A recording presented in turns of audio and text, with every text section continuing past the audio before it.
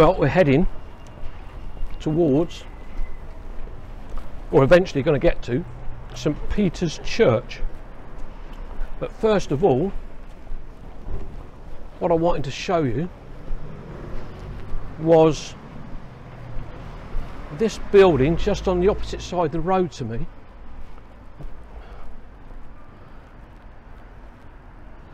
Which is just there. Absolutely incredible. We passed this earlier on. But of course you've got these old parts of these towns which have got traffic going through them and of course you're trying to do film or take photographs and it gets absolutely ruined but the cottage over there is called Miss Bat's Cottage. Which I'll just show you there? They've got all this lovely herringbone brickwork in the walls. And just up on the timber frames you've still got the old wooden pegs of the building.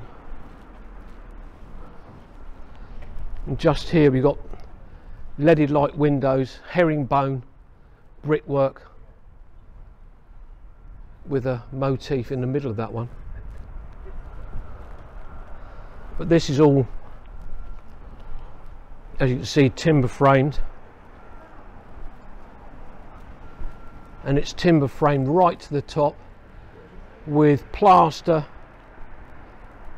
in between the beams and you've got the old oak windows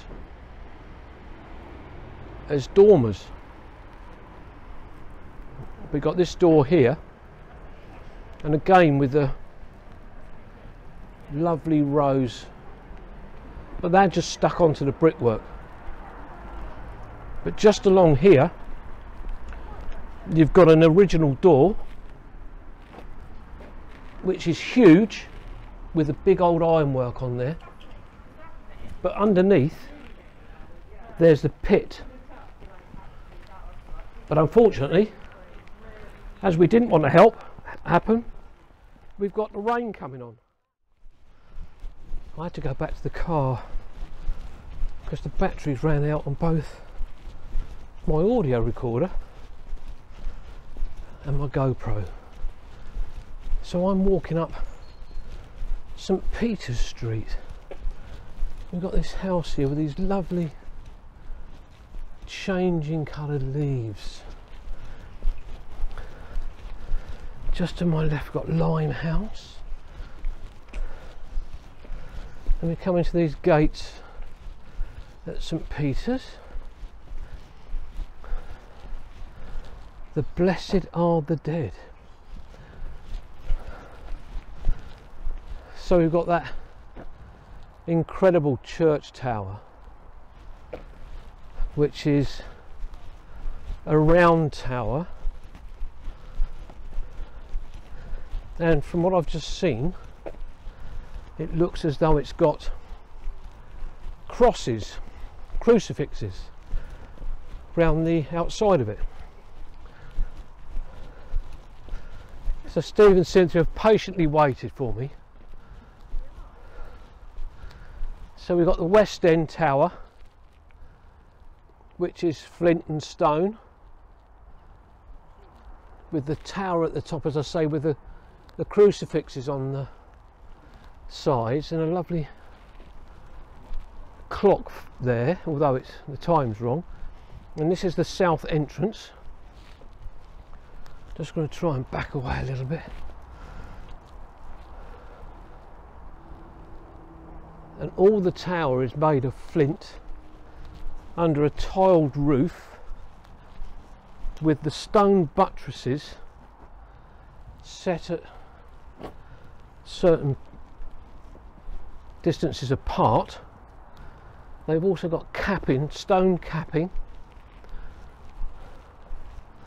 But as you can see, all this part of the church here is of stone blocks Then when you come around the corner, you've got the different colour flints. And we've got Steve and Cynthia standing here looking at this doorway with these gargoyles, I suppose you'd call them.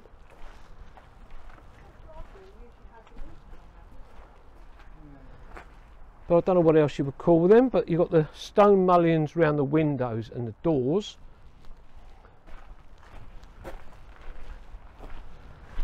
Again, another buttress right in the corner here. And I will try and get a bit further away from the church this end, because this is the east end of the church.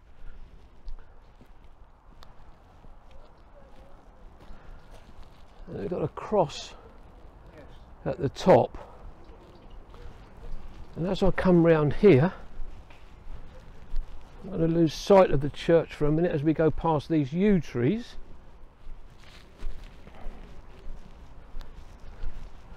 We've got this huge fir tree or pine tree. But this is the, as I say, the east end of the church, and you've got a split. Uh, this is the north, the north end, north side of the church, and you've got a, a valley up there between the main central aisle of the church and this north side. So as I wander around, you can again you can see it's all flint on this side. But then on the the north face of the nearly tripped over north face of the church, the blockwork has been rendered over. But then we've got this extension here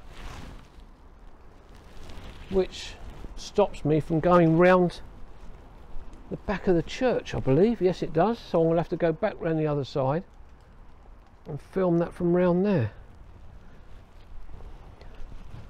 But Cynthia and Steve are looking for one particular headstone. Um, of ancestors of a friend of Cynthia's So I'm just going to head back round to the other side of the church and get the other side of the tower.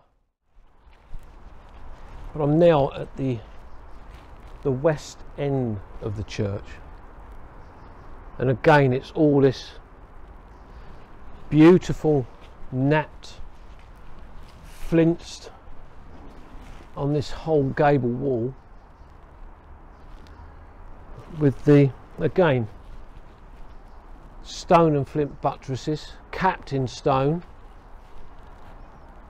You can see there's one there but there's several of them all the way around the church. But you've got this doorway at the west end of the church with its stone arch around the door and lovely red and black the black ironwork and the black studs in the door but you've got this the tower as I said earlier on with the crucifixes all the way around I'll see if I can just get a, a little bit further away from the tower. It's very difficult because this part of the this end is we haven't got much room because you've got a separate cemetery from the main area So let me just back away up this way a bit so I can get the tower in there. But as I said before, I've walked around cemeteries before where you've got the different styles of headstones with the different tops.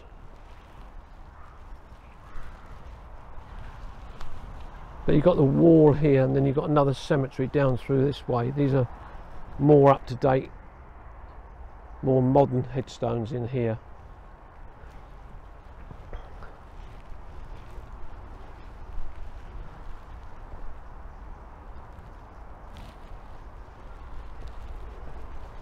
So I've just spotted Steve and Cynthia over there. So if I can grab them and then we'll end our video here just by this cemetery.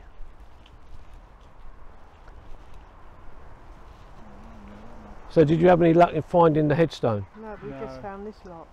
A lot of the headstones you can't even read. The, the older ones you Yeah. can't read anymore. Yeah. Well, we can have a quick look round here. You'll have to tell me the name. I will. So, after going and getting my new batteries for both the, the audio recorder and the GoPro, we say cheerio from St Peter's Church in Bishop's Waltham. So, Kevin, Steve, and Cynthia saying goodbye, and we'll see you on the next one. Bye. Bye. Bye bye.